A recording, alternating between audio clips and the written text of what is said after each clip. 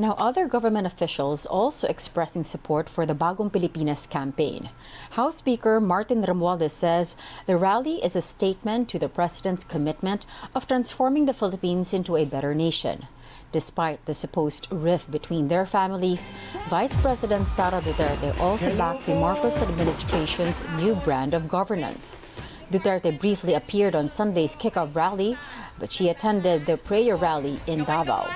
Amid her support, she called on the public to stand against the ongoing signature campaign for People's Initiative. Earlier, the Presidential Communications Office dismissed claims the Bagong Pilipinas kickoff rally would be used to push for charter change. Ito yung parang declaration ng commitment ng Philippine bureaucracy, ng gobyerno, para mag-level up ng government services para marating yung bagong Pilipinas. So, magandang maintindihan to kasi napaka-multi-layer na bagong Pilipinas. Hindi lang ito logo, hindi lang ito branding, hindi ito government program. It's a multi-sectoral, multi-level na concept na i-implement Some 400,000 supporters and government workers flocked to Manila Sunday for the kickoff rally of the Marcos administration's new brand of governance. President Ferdinand Marcos Jr. launched the Bagong Pilipinas or New Philippines campaign last year with the goal of shoring up the economy and creating more jobs for Filipinos. During his speech, Marcos encouraged Filipinos to actively participate and contribute to a better Philippines. Ang layunin ng bagong Pilipinas ay maglatag ng mga mithiin na dapat natin makamtan para sa kinabukasan ng ating bayan.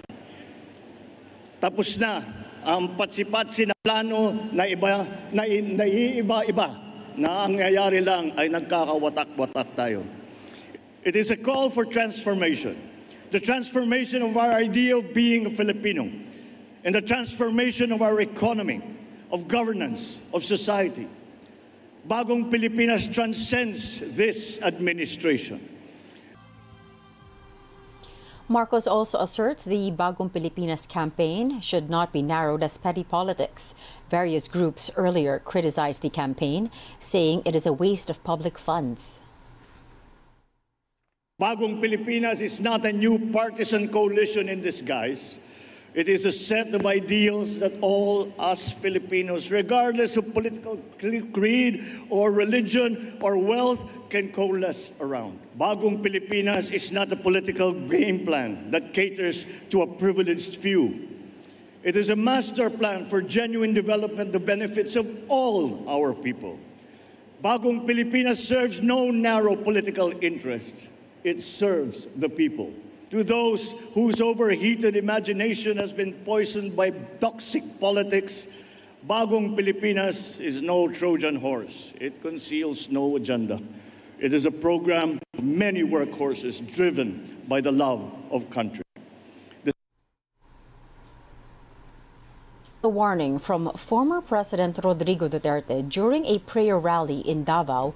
Duterte said President Ferdinand Marcos Jr. may suffer the same fate as his father if the current administration insists on pushing for a people's initiative to amend the charter. Duterte then urged the police and the military to protect the 1987 Philippine Constitution.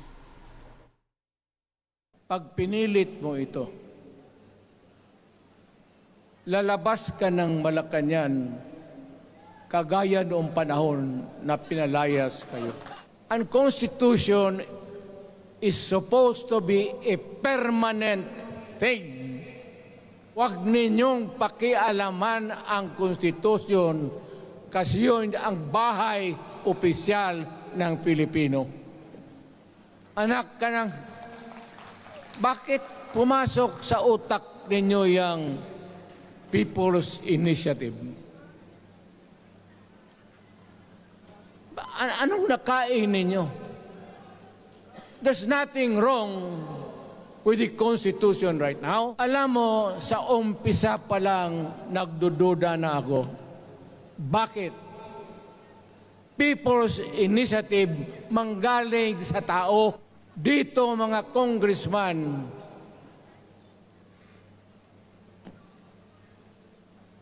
Alam ninyo, kung magkaletse-letse ang buhay na ito. Sabihin ko sa military, sirahan ninyo yung Congress. Bakit binababoy ninyo ang bayan natin? Duterte also accusing Marcos of being a drug addict. Si Bongbong Marcos bangag noon, ngayong presidente na bangag natin ang presidente. May drug addict tayo na presidente. Nung ako'y mayor, pinakitaan ako ng evidence ng PDEA. Doon sa listahan, nandoon yung pangalan mo.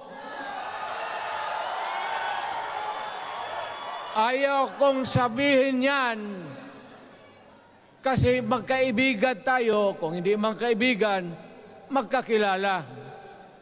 Eh, ikaw eh, pumapasok kayo ng alanganin. Mr. President, baka susunod ka sa dinaanan ng tatay mo. Diyan ako takot. Ayaw ko mangyari sa iyo yan. When he was president, Duterte questioned the qualifications of one presidential contender whom he claimed is an illegal drug user. He did not directly name Marcos at that time. Marcos later said he took a drug test in response to Duterte's allegations. Another Duterte, meanwhile, calls for the resignation of President Marcos in yet another sign of a deepening rift between their families.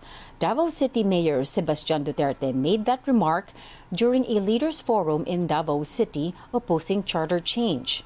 The mayor also accused President Marcos of being lazy and lacking compassion. All of these things that he is causing is oppressing the people. Mao na. Kaya giuna niya ilang politika, ilang self-preservation sa ilang politika. Wa nila giuna ang trabaho. So karon, imbes of opening up new opportunities, especially for those sa lower classes, kaya para mo improve ang kinabuhi sa mga Pilipino, labi na sa mga kapos. Mr. uh, President, kung wala kay gugma, o wala kay aspirations sa imuhang nasod, resign. Also present during the event, the former executive secretary of President Marcos, Attorney Vic Rodriguez. Nais ko pong sagutin kung bakit ako naririto ngayong hapon. Sapagkat nakalagay doon sa isang post na aking nabasa, ang Davao City at ang Davaoenos are not for sale. And precisely for this reason that I am here because your friend Vic Rodriguez is not for sale. Marami yata talagang elemento sa pamahalaan natin ngayon. Ang iniisip lamang ay ang kanilang sarili, kung, mapa, kung paano manatili sa kapangyarihan at paano higit pang gustayin ang kabal ng bayan.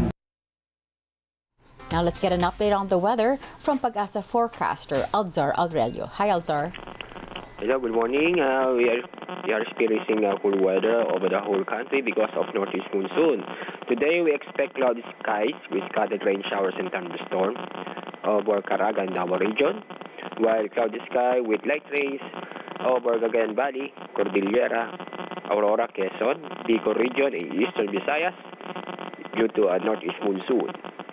Rest of the country, including Metro Manila, will have generally fair weather, which is partly cloudy to cloudy skies, but uh, we expect isolated rains. Because of strong winds, uh, almost a whole uh, seaboard of the the Philippines will experience rough to. So we advise to take a precautionary measure due to the high waves The high waves expect uh, to reach up to almost 5 meters. Here in Metro Manila, forecast temperature is from 21 up to 28 degrees Celsius. That's our latest update from Pag-asa. I'm Alzar D. Aurelio. Thank you very much for that update, Alzar.